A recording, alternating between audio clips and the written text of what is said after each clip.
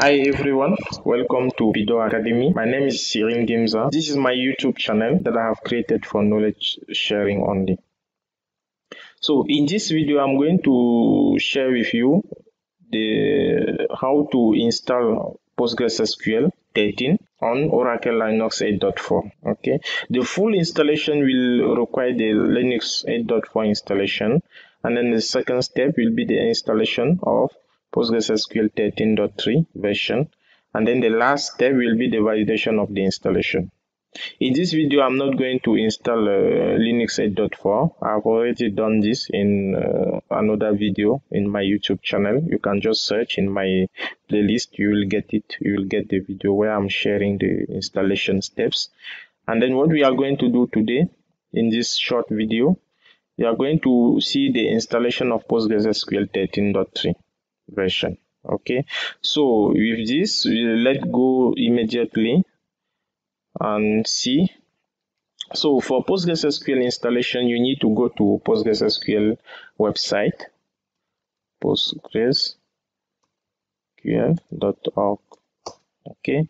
You need to go to postgresql.org and then you go to download. When you go to download you will see Linux and then you select Red Hat or CentOS. Because we are installing on Oracle Linux we will select Red Hat or CentOS okay? When you click to you click on Red Hat or CentOS you need to select the version here. You can see 13 version 12 11 10 9.6 we are installing 13 version. So we select 13 what's the platform? You select the platform here. Our platform is Oracle version 8 so you select this version. And here this is the 64 byte. We are selecting 64 byte. Here this is the script you need to run for the installation. So what we will do we will run this script one by one. Command I copy this. I go to my machine. Then I run this. This will update the repository. Okay this is completed now I will go to next next command here. I will copy this. You just copy this. Then you come here and then you run. This will actually disable the built-in the built-in PostgreSQL module. Okay we don't need we don't we don't need the built-in PostgreSQL module. So we are disabling it. After disabling that built-in PostgreSQL module we are installing now the 13 version. So copy this command let this complete done. This is done. Then proceed with the installation. So the installation is going on. Installation done. What's the next step? We we need to initialize the database mode the database and enable automatic start. So in the last steps we are initializing the database and then enabling the automatic start. So we'll run this one by one. Let me first initialize the database. Copy this this is done. Now we enable auto start on this. This is done. We go back and then start PostgreSQL service. Start this. We have completed with the installation step 2 now let's do for let's do some validation let's validate our installation. I will go to my pc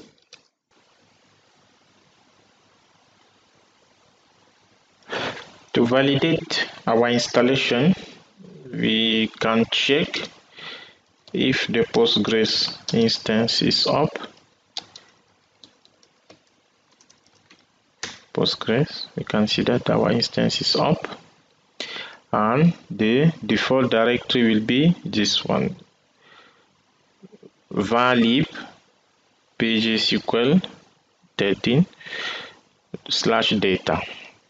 This will be the default data uh, directory. And we can also change this default data directory. So we'll keep the default. Now to check on to which port our instance is listening we can either connect to the database and check and run the, the query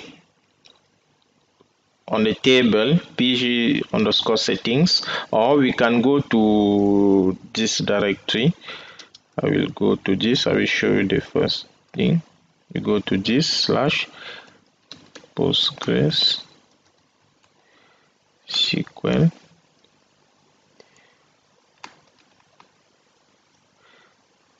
okay let's go to data. Postgres. Connect us. Postgres. Go to data. Postgresql.conf we check port and we see here there is no port the port is not set okay. When it's not set by default it will be 5432 you can also get the confirmation of this by connecting to the database.